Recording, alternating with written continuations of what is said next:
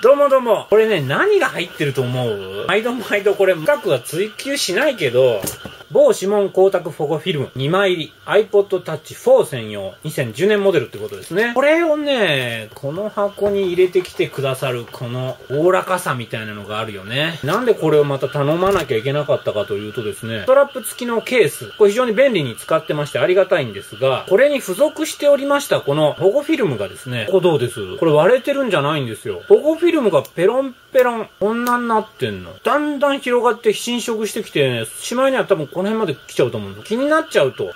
うわこんなブルー。はい、剣弁じゃないよ。はい。本2枚。その前にこちら、お別れしよう。ありがとう。さようなら。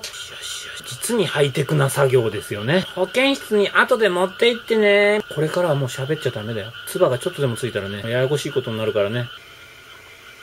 一発でうまいこと言ったかな。このプラ板で空気を追い出すと。やっぱフログでついてたやつよりだいぶいいね。このとこになんか入ってんだけどどうしよう。もう剥げないのかな、これ。